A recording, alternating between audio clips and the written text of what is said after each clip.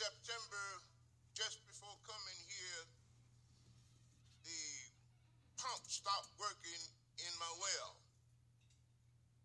And I knew there was a problem. I didn't say too much for my wife because I knew there was a problem. It was beyond my control. I know something, but when it get where I can't handle it, I have to call somebody else. So when I got back home from Nashville, my wife said, there's no water.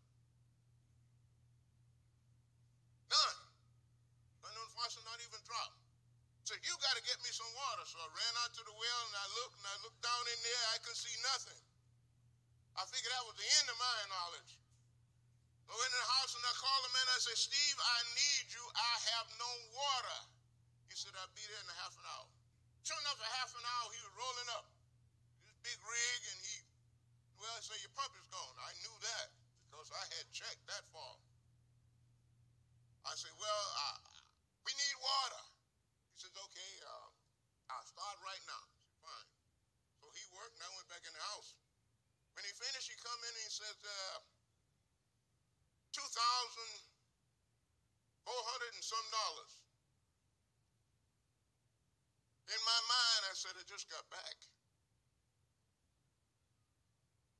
I said, uh, I don't have anything right now to give.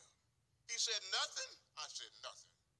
He said, can you give me a thousand dollars next Saturday? I said, yes, I'll give you a thousand dollars. When he left, I'm saying to myself, now why did I say that? Because I don't know where the thousand dollars is coming from. And I didn't think too much about it until that Friday. And I promised the man a thousand dollars that Saturday.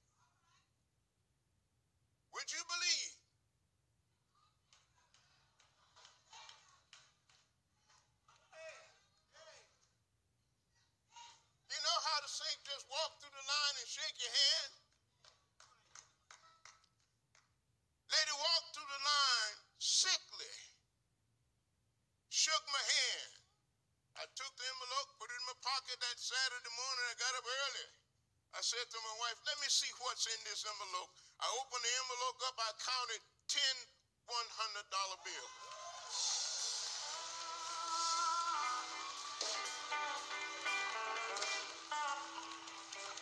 Said, Steve, your money's in the mail.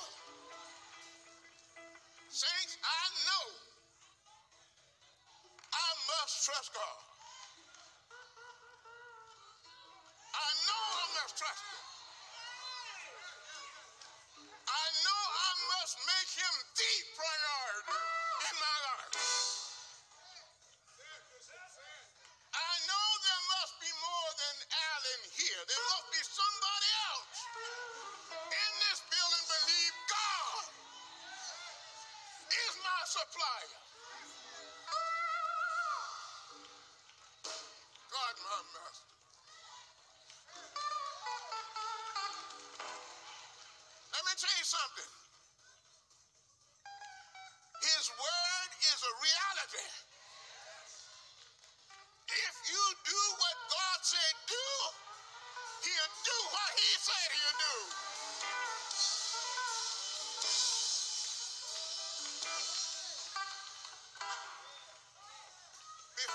Retired,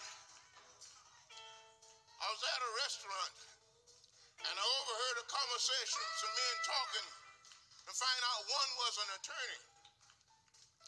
And I heard him boastfully say, I know God will do it. It really got my attention. I looked around and see who was this talking. He says, I know. So the men with me, they looking. He said, I know God will do what he said. And it really got my attention. They said, well, why would he?